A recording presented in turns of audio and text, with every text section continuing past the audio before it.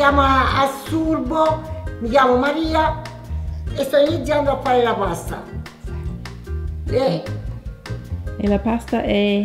le lasagne. We are in Puglia, southern Italy. Maria is using semola rimacinata or semolina flour and warm water. She is helped by friends Amelia and Assuntina.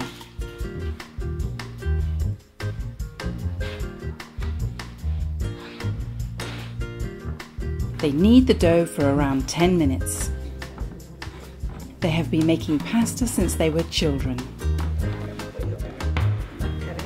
Maria rolls out the dough. For sagne, the pasta sheet can be about 3 millimeters thick. Maria smooths the pasta with the palms of her hands while it is still around the pin. This helps rolling it out more efficient.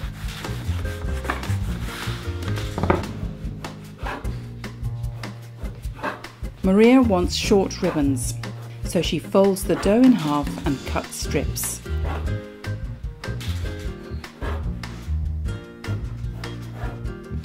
Then slices these into 10 centimeter lengths. Another name for this pasta is tria.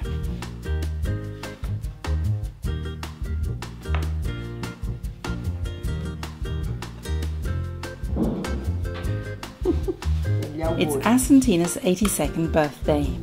Auguri! 82 anni.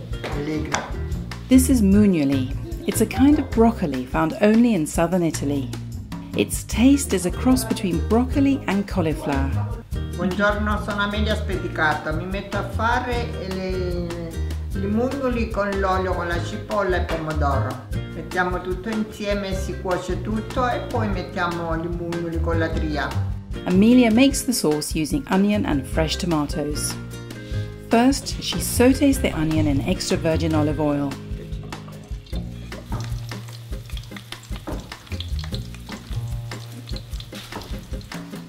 Then she adds the chopped tomatoes.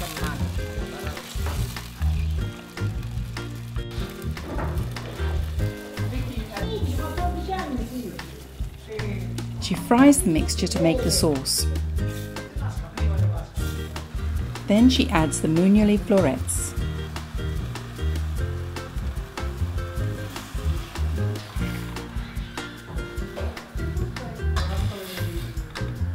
Amelia cooks them until the broccoli is very soft. This takes about 30 minutes.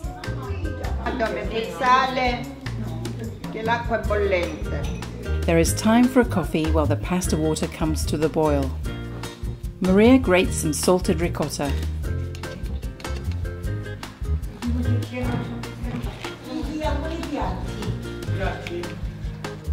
Once the sagne are cooked after about 5 minutes, Amelia adds them to the broccoli sauce. Chili pepper is an optional extra.